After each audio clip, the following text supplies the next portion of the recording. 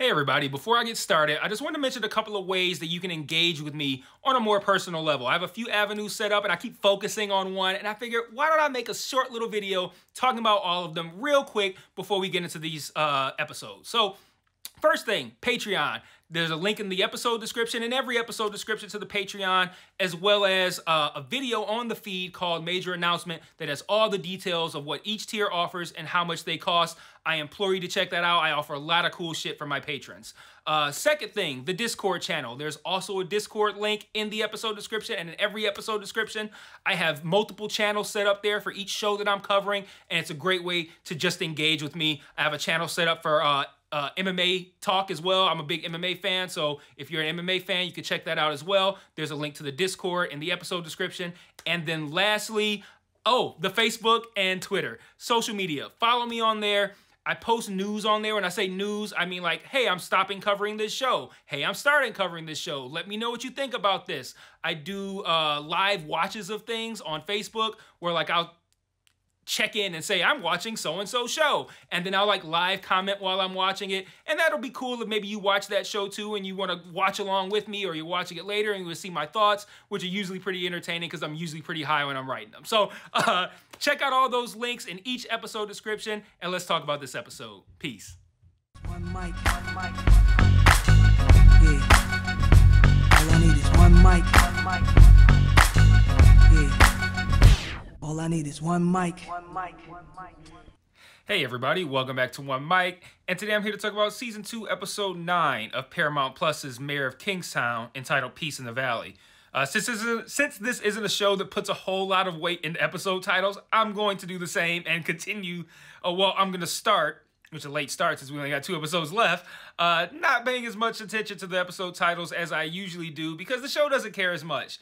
Uh, Peace in the Valley here, I, I, I almost feel like they they kind of started to mail it in even more so, like even more so as the season has progressed. I almost feel like this Peace in the Valley title, and it, this this could be referring to a line that I missed, honestly. But again, the show again they're not putting too much effort into this, so why would I? But it kind of feels like. Uh, this is actually about the opposite, the upsetting of peace. There's about to be no peace. It's about to be the opposite of peace. There's about to be full out war uh, in the valley, or whatever you want to call it. Uh, because of the fact that Bunny. Well, we'll talk about it. Let's uh, we'll get to it when we get there, but. Uh, because of what Bunny did at the end of the episode, uh, looks like there's going to be full-out war in the street. So quite the opposite of peace. But uh, I want to talk about some of the most of the other things I think actually that happen in this episode because a lot happens in this episode that is setting up uh, plot threads that I think are going to close in the season finale. They'll probably leave a few open. Again, not probably incorrectly assuming that they have a strong chance at season three. But of course, you would think that. But then the injury to Jer injuries to Jeremy Renner make I think I think this is just me completely uh, just assuming uh, that Mike uh, Mike Jeremy Renner's injuries put season three in jeopardy. But um, yeah, they set up a lot of interesting things here, and now it's it sucks that it's happening so late. But they set up a lot of interesting things here that I would otherwise feel a great deal of concern over whether or not they'll address. But the show has proved me wrong time and time again this season by having things that I'm just like, that seemed unclear. That seemed weird. Did they fuck that up? And every and they explain it every time in the next episode. So uh, there are a few things like that again here, but I uh, now I it took long. It took a long time. It took to the second to last episode, but now I'm kind of in a place where um, the things that I feel are unclear that we're going to talk about uh, I feel like they're probably going to address those things in the finale. So um, let's start with, I think, this, the simplest thing that doesn't require much discussion. Uh, Milo and Mike meet and they make a deal. They plan to exchange the bonds in exchange for Iris. And um, in, now, in my opinion, Iris isn't even worth one of those bonds uh, reprinted on a printer with low ink. Like she's not even she's not even worth that. But if that's what Mike wants to, if Mike's willing to take that in exchange for the bonds, whatever. Uh, I believe they set up a meet for that, but we're gonna talk about uh, the little bit of time that Iris wasted this week uh, a little bit later. Also, after this scene, we see the Bunny robs a gun store, and he he sets up a whole charade. Which again, why was this even necessary? If you're gonna back a truck into the building break all the glass, take the guns, and and knock out the security footage. What was the point of the entire fucking stupid charade that he did at the beginning? unless it was just to keep himself inside before the store opened. Actually, that's probably what it was. They probably wanted to rob it before the store opened, and him doing that little charade made the owner feel safe enough to keep him in there, even though the store wasn't open yet.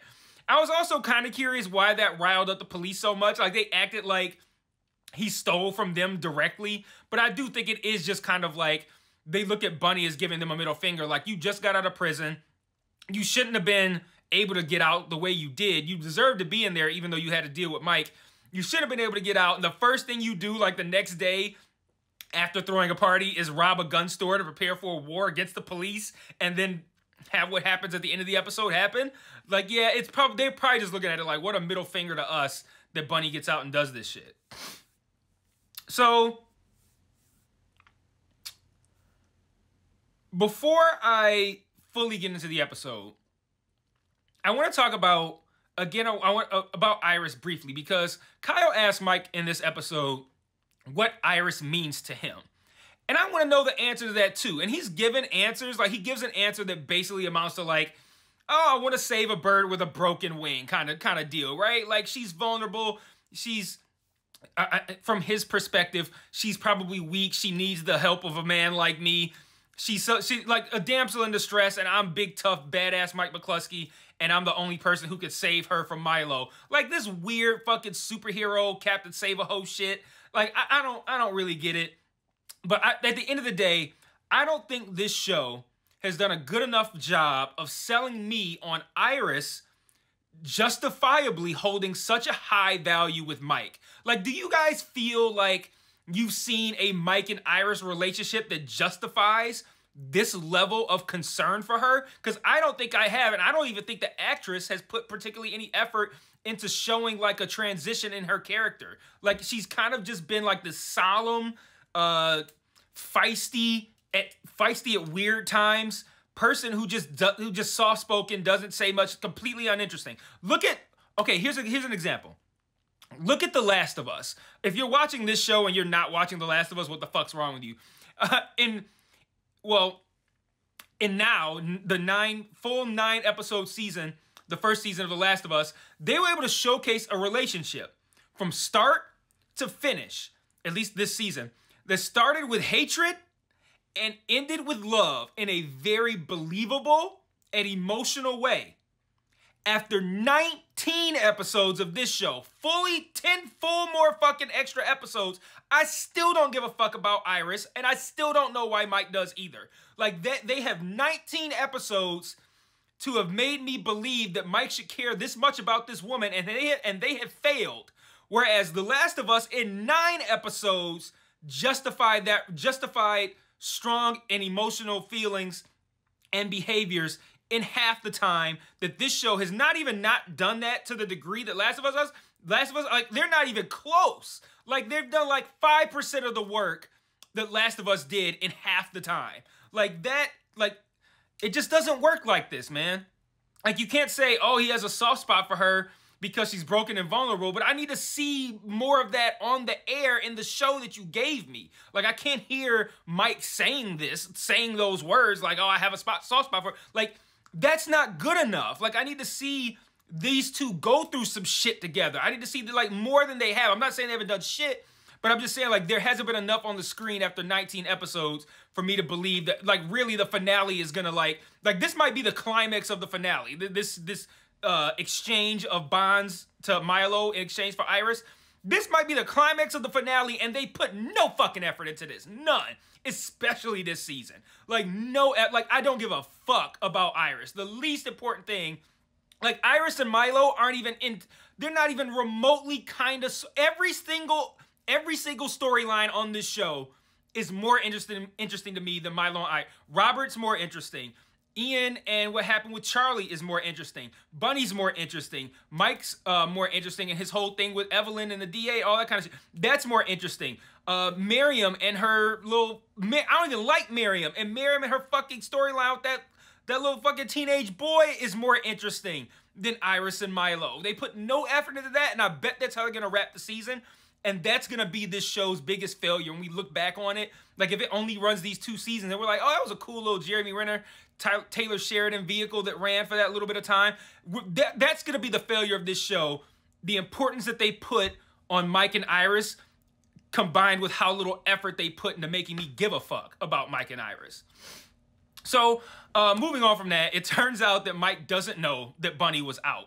And uh, that's interesting to me because, like, he didn't have anything to do with it, which gives new life to my complaint that he went off the grid while Bunny was still locked up because I thought he was free. I'm like, so like, at, at, so at the beginning of last episode, Mike's like, I'm going off the grid. He leaves his phone. I'm like, you can't do that. Bunny ain't even free yet. You can't just go off the grid. But then they had the, like the next scene, Bunny's talking to Raph, and he's like, "Yeah, I'm free. I'm getting out tomorrow." I'm like, oh, "Okay, well, I guess Bunny. I mean, I guess Mike and Evelyn took care of that off screen, which that annoyed me that that happened off screen. But at least I was like, okay, so that happened. But now it turns out Mike didn't even know Bunny was free. So Mike, so Mike really did go off the grid at the worst possible fucking time. Like I was willing to write him off with the bunny shit because I'm like, okay, Mike going off the grid is definitely gonna get Miriam's little uh little boy killed. And he's gonna go off the grid like when Bunny's situation is at his absolute fucking worst. He's gonna go off the grid. That was dumb. And then I gave that back to them like, okay, I guess Bunny was already out. No, he wasn't. So that goes right back to being stupid. So Mike, Mike's going off the grid episode was a colossal fuck up for Mike. It's gonna end up costing him a ton. And then this episode did nothing to explain why he needed to go off the grid to do anything that he did. Like that wasn't even addressed in this episode. So in the finale, man, the finale has so much to address, but the finale needs to address that. Like, why did he have that whole mission last week? And why did he need to go off the grid to do it since it cost him so much? And this really does feel like they made him go off the grid just so they could justifiably have all the terrible things happen here. So it's kind of like a plot thing. Like, uh, this is the this is the place we want to end up. We're not gonna pay too much too close attention to how we get there. Let's just have Mike leave his phone because he needs a day off. Like that's lazy, and I, I'm not a big fan of it. But the criticism that is now off the table in in its place is the complaint of how they handled Bunny's release, right? So like I felt like they underplayed it, right? And I'm like, how are they just gonna have him write it? I just gonna have it like this throwaway line. Evelyn didn't even want to do it, and now apparently it happened off screen. And and they're just gonna have Bunny say it in this throwaway line. I was like, they built this up. You know, you, you guys heard all my complaints about that, right? Well, turns out we find out this week Evelyn didn't sign the papers. So not only that, She's like, if I get elected DEA, I'm gonna do everything I can to make your life a living hell and to ruin you, Mike. like so, um, it turns out that the woman from the Warwick prison group uh, is uh, helped get Bunny released, and, and I'm curious as to both how and why she did that. Like, and we didn't even see her in this episode. We, I think we've only seen her like once or twice the whole season. Like, this, it's very likely you guys will be like, "Who the fuck is that?" Like, we only saw her a couple of times, and why what what investment would she have in getting Bunny out of prison? I think that's going to be the most interesting aspect of this that we need to see in the finale is what her motivation is. But then also how does she have this influence where she can get somebody out of prison subverting the DA? Whether that's the dead DA, whether that's Evelyn, she somehow subverted him and maybe even the governor, unless maybe she has something uh maybe like I don't know if we've seen the governor on this show, maybe the governor of this show, she has a relationship with that guy, and we'll meet the governor next week, and we'll find out this some whole thing, and maybe, maybe the Warwick woman wants Bunny out because she knows that he's gonna take revenge against someone she wants taken revenge against. Like maybe she has a beef with Robert or something like that. I don't know, but yeah, I'm real curious to find out her how and her why. Then, um, in a fairly, I think a, a fairly funny moment, it was at least funny for me, and it could. I, I, mean, I was high, so that could be. There's another. There's another moment too where I was laughing. I'm like, oh, this could be because I'm high. But uh, after Evelyn is telling Mike like, yeah, I'm gonna come after you. I'm gonna ruin you, so your people can't fuck the streets up. She like leaves, but then comes back like like and another thing. And, she, and she's like, oh, your guy Robert just kills with impunity. Like, isn't it convenient? that the person who was gonna testify him ends up dead. Oh shit, Mike. Mike's like, wait, what? Like she thought that was gonna be like a booyah moment for him. Mike didn't fucking know about it, right? Uh, but we'll come back to that moment a little bit later. Um, Miriam finally gets in touch with Mike after his absence last week to tell him about this kid. We find out this kid's name is Jacob Reed. Maybe we found it out before and I just didn't write it down, but uh, his kid, this kid's name is Jacob Reed. Mike calls Kareem to help, but it, it all ends up being for naught. Uh, Mike's going off the grid ultimately cost this Jacob Reed kid his life. He doesn't get there in time. Reed gets transferred. We don't see him much in this episode, but he gets fucked with by a couple of white guys and he lays his head down behind a tire. and They back over his fucking head. What a sick shot. Um, I knew this storyline was going to end poorly. I said it. I probably said it in one of my videos. Like, uh, Mike's, Mike's uh, going to fuck this up uh, going off the grid. Like, you know, uh, yeah, this, this, there was no other way this was going to go. Um, I'm curious if there's going to be a fallout from it or not, or if this was kind of just like, eh, we need to give Dianne Wiest something to do, so let's just give her this stupid fucking storyline in, the, in the back half of the season. I don't know if it's going to be inconsequential or not. I feel like this show has a lot of dangling threads leading into the finale. I think that needs to not be one of them, but I guess we'll see. Uh, and speaking of my my other favorite funny moments that I I don't know, you guys tell me if you if this came off funny to you. This the one that definitely had me laughing, and I definitely was in my notes like, maybe it's because I'm high, but this is really fucking funny. Um, but my favorite scene of the episode is when Ian tells Mike that the Robert thing went away, and he's like, "What the fuck you mean it went away?" And Ian's all like, Ian's like not making eye contact and being super obvious he's lying. He's like, "Yeah, you know, sometimes things just go." Like he's like like actively trying to avoid looking at Mike. Like, well, maybe you called somebody. I don't know. And it's like very over the top and obvious lying. And I'm like, how is Mike not picking up on this? Then he goes with this. then he goes with this whole thing. He's like, Napoleon didn't answer letters for two weeks. I'm like, what the fuck? What the fuck are you talking about? like Napoleon's getting letters on a boat and shit. Like, oh, I'm not gonna answer that shit. Like, and then like, how does Ian know this? I, I don't know. It was just really over the top lying, and I thought it was fucking hilarious to me like, yeah, Napoleon just said, oh, if it's not, if it's still important in two weeks, then I'll answer it. I'm like, what the, why are you, well, how is this even comparable? uh, so I said earlier, I was going to come back to the scene where Evelyn snaps on Mike for the guy who testified against Robert being dead. His, his name was Ben something or other. We, we, remember that from last week. Well, now's the time to talk about that. So uh, Bunny and Mike talk, and Bunny tells Mike, he's like, you and me are square, we're good, but a toll has to be paid for what happened in the riots. And he's like, I, I want that SWAT motherfucker. Of course, he's talking about Robert, right? Now, here's where we need to have a conversation, me and you guys. At this point, I figured, okay, I must have missed something. I've been saying all season that all bets are off in a prison riot, and if prisoners are rioting, it is what it is, right? I'm like, I don't understand what the SWAT people could have done where uh, the DA feels like so, uh, a head's got to roll on the SWAT team, like the heart attack letter plot, all of that felt really forced to me because I'm like, okay, they went into, they tried to squash a prison riot. What's the big fucking deal? Why do heads have to roll? Now you got Bunny talking about, I want that SWAT motherfucker. And I'm like, oh, and then you have Kyle asking the police captain, like, what, like, why is Robert under fire? Like, he saved people, all, which is true.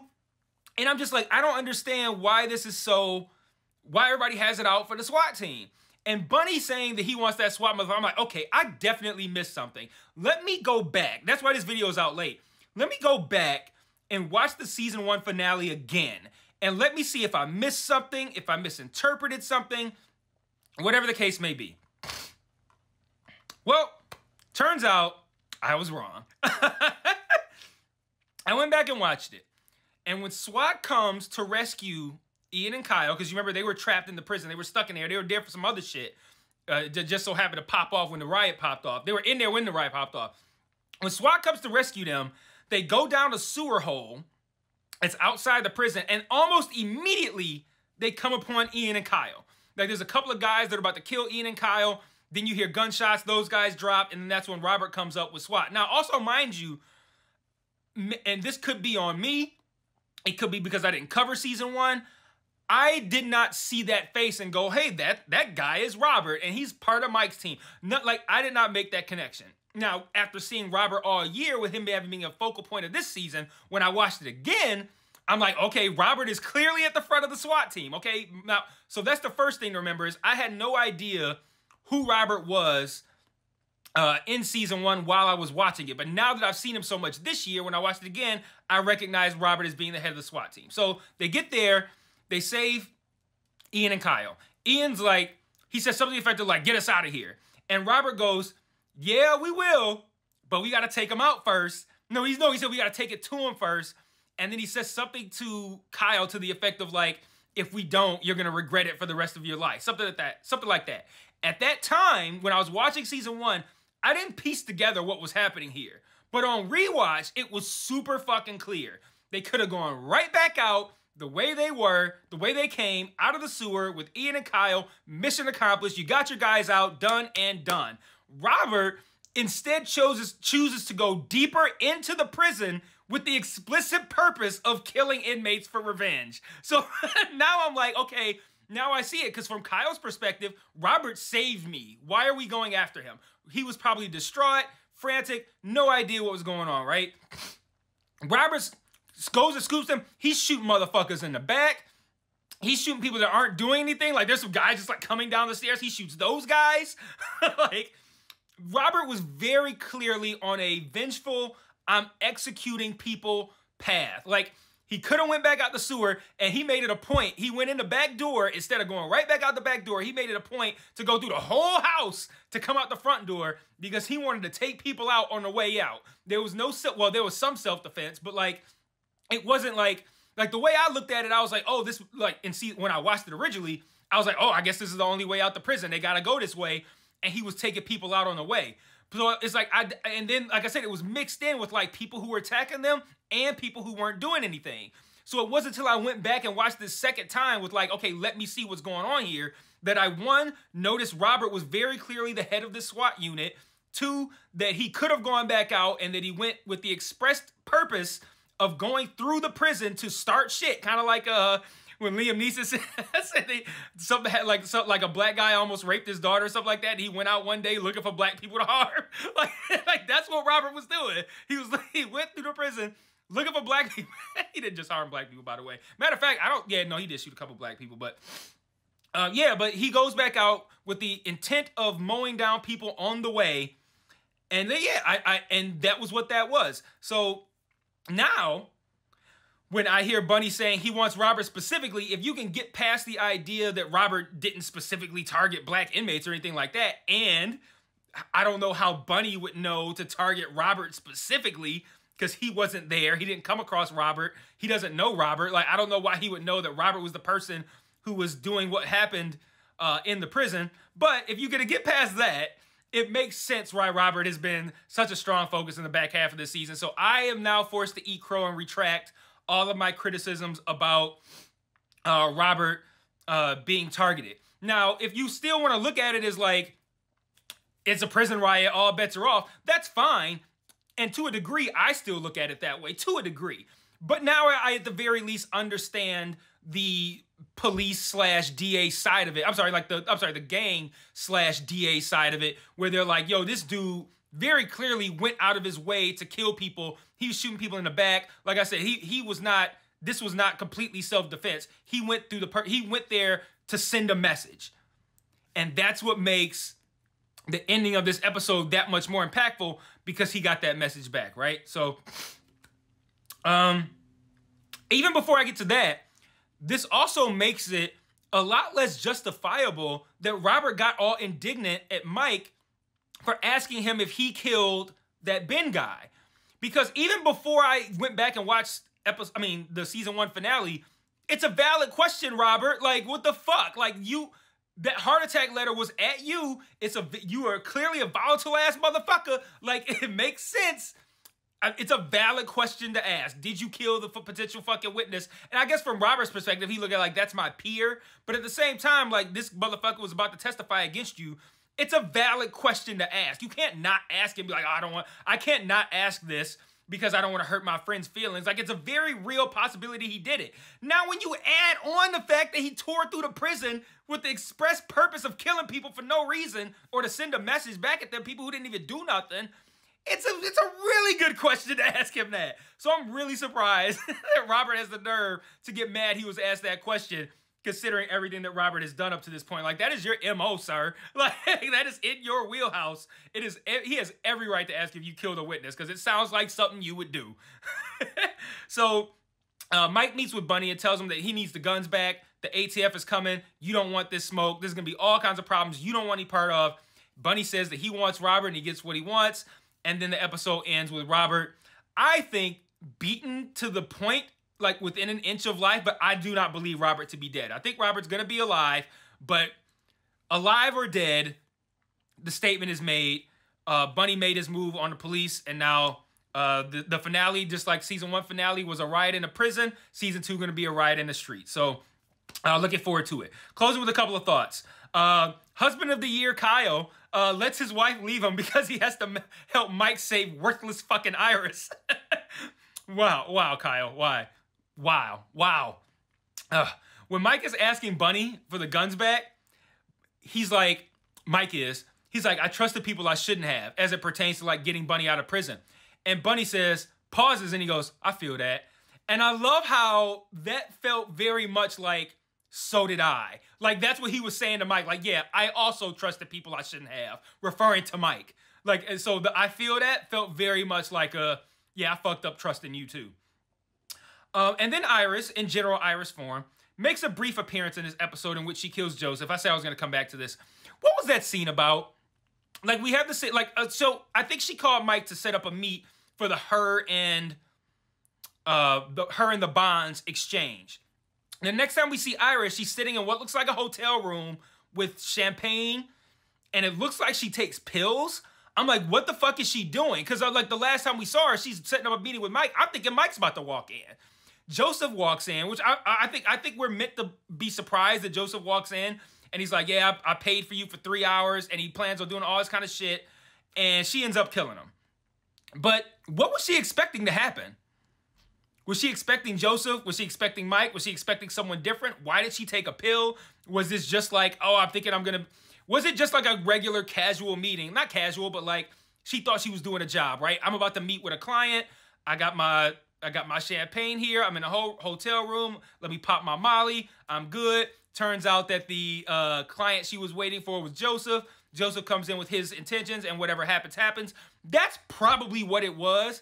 But the way they edited it, like to have that scene follow her calling Mike and setting up a meet, that made it confusing. So I feel like there maybe should have been a scene in between there where like maybe she calls up Mike to set up the meeting and then maybe the one girl, what's I think what's her name, like Tatiana or something, like the one that like seems like she's in charge of all of Milo's women. Maybe she's like, oh, you have a client that wants to meet with you at three. Make sure you hurry up. Then we have that scene. We have that scene. Now I'm like, oh, she's waiting for the client. But in that moment, I'm like, oh, she's waiting for Mike. And then Joseph comes in. I'm like, what the fuck is this? And I'm like, why did she take a pill? So like, I, that's one of those things where I, I do think they probably fucked that up with the way they edited that together um, like without having like a connecting scene. Not even a connecting scene, but a scene to make the the hotel scene make more sense. But um, minor complaint. Uh, and I, I think if if if and if it was done the way they intended it, I'm sure it'll make sense to me in the finale. So I will see you guys next week for the finale. And until then, peace.